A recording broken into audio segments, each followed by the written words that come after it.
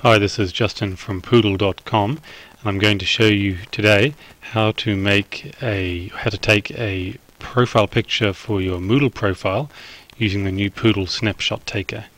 That's a repository plugin. It's part of the PoodLL repository.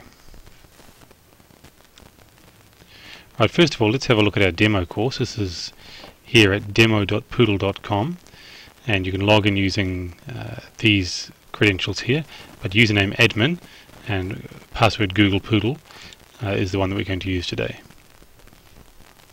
I've actually already logged in so I've gone straight through and we want to change our profile picture or add a profile picture so let's click on our user profile here and that should bring us up with uh, this here. Now you see I haven't actually got a profile picture yet.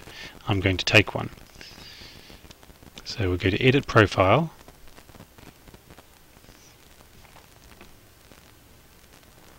and this is the profile for the admin user. This will work for any user of course, not just the admin user. Right now here we have our user picture field and this is uh, choose a file. So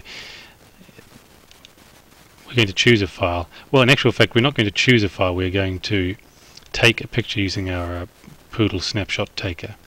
So if we click on here the repository PoodLL snapshot, our PoodLL repository uh, snapshot taker will show and you can see me there. And let me just bring the camera down so we can see my face. And I take a picture. Smile. And there the picture is taken. Uh, I want to save the picture so I click on the save icon. And the green tick shows me it has been saved.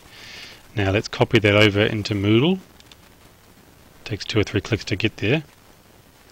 And you can see that our picture uh, has actually been uploaded into our repository into our file system. If we go down now and update our profile, here I am. Okay, so our PoodLL snapshot taker does work.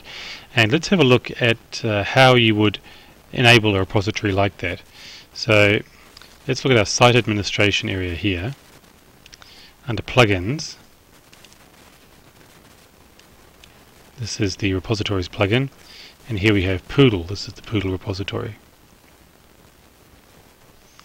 Now these are the repository instances that I have created.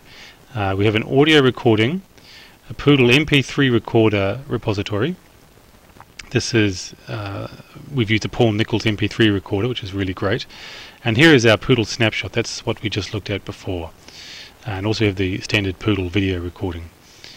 Uh, to create such a repository instance, we first have the latest version of PoodLL installed, and then we click on Create a Repository Instance here, and we have a drop-down box, and we can see the four options here. Audio recorder using Red5, that's our server in the cloud. A video recorder using Red5, that is again our server in the cloud. And here the third one is the one that we are looking at. That's our snapshot taker using our web camera.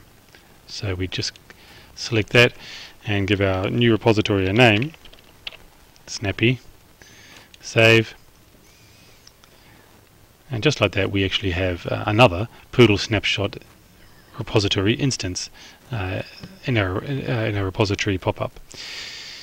And that's all you need to do to take snapshots using PoodLL. Uh, you will need to install PoodLL first. There are other screencasts and information about how to actually install PoodLL. If you want to look at those, please go to www.poodll.com.